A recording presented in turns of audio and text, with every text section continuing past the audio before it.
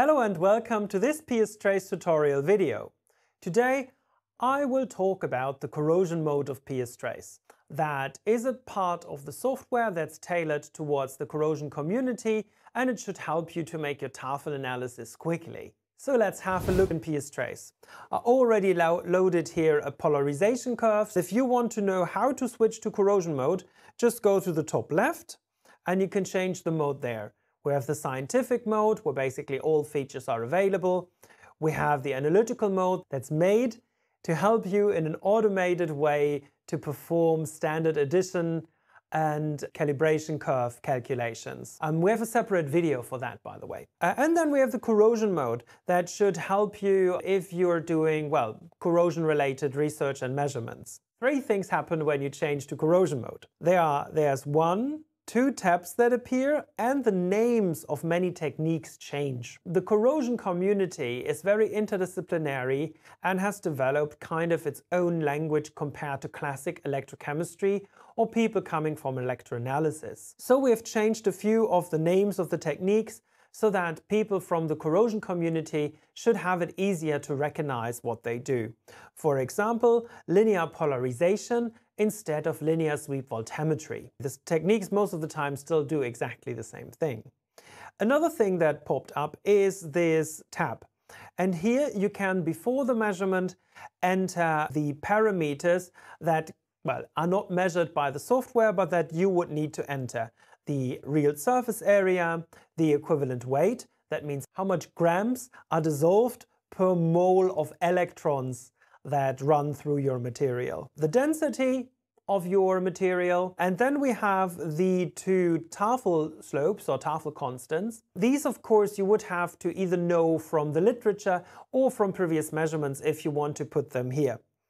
But they're not necessary for all the analysis. Well, as I said, sometimes you start with nothing. Right, so now we have done our polarization curve. And most people who do a polarization curve like to look at it in a slightly different way. I mean, one option is just to turn on the logarithmic scale, and then you already see here the current in logarithmic scale versus the potential, and that looks a bit more familiar already. However, if you go to the corrosion tab while you have a linear polarization curve as your active curve, then you immediately transfer that into a Tafel plot with the potential plotted versus the logarithm of the current density. The current density is just calculated by dividing the current by the um, surface area that you put here into these fields. If you found that you made a mistake, just correct it here and update your calculations. By the way, if you have questions, always feel free to use the question mark buttons to open the help pages for the different techniques. So let's first stick with the, let's say, classic Tafel plot and see how we can do an analysis with them.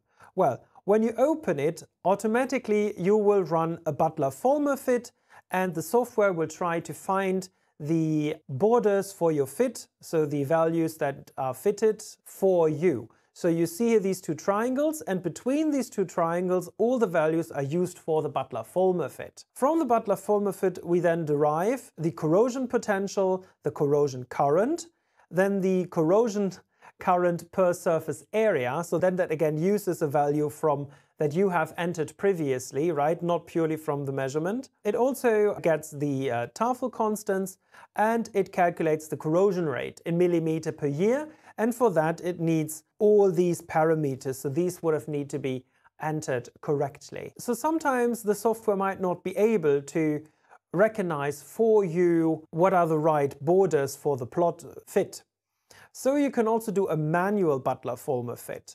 So then you just, uh, well, select the option and then you mark two points. Maybe you want to have like a very wide area fitted. And then it makes the fit between these two points. If you feel very secure in Tafel analysis and you want to do it the old-fashioned way, by finding the Tafel slopes, you can also do that. So you choose manual Tafel slope fit, and then you make points to find the right um, slopes to get to your Tafel plot. I'm now trying to do it properly, but you see it's a bit of a challenge. Um, and when you have found your linear parts of the curve and assigned them for the anodic and cathodic linear relationship, then you can confirm this. And now you get here under Tafelslope's manual, you get here the results from that. If you want to transfer your results, for example, to your lab books, you can copy them to the clipboard. What are other options you can find here? If you're not used to seeing potential versus the logarithm of the current density, that can sometimes be confusing. So you can just push the switch Tafel plot axis button and then you see now the current versus the potential. So you can just switch these axes around.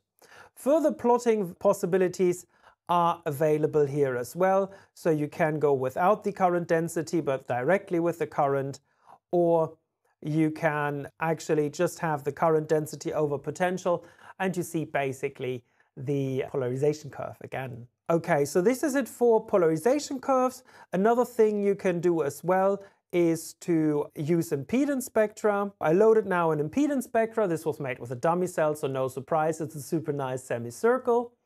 But just to point out, in the corrosion tab, when you have impedance spectroscopy as the active curve, you can in the corrosion plot make a fit for your measurement and extract, for example, according to this equivalent circuit, your polarization resistance.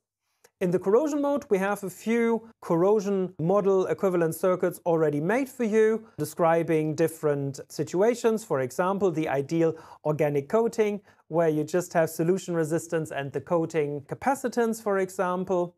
But also still, you have the option available to make your own equivalent circuit if this is what you want to do. This is everything that I wanted to tell you about the corrosion mode to get you started. Of course, more details you can explore by yourself. And if you found that video helpful, you can find more of our PSTrace tutorials on YouTube. And if you subscribe, you won't miss any new videos. Also, if you follow us on LinkedIn, you will see all the updates we post and not miss anything. Thanks for watching and have a great day.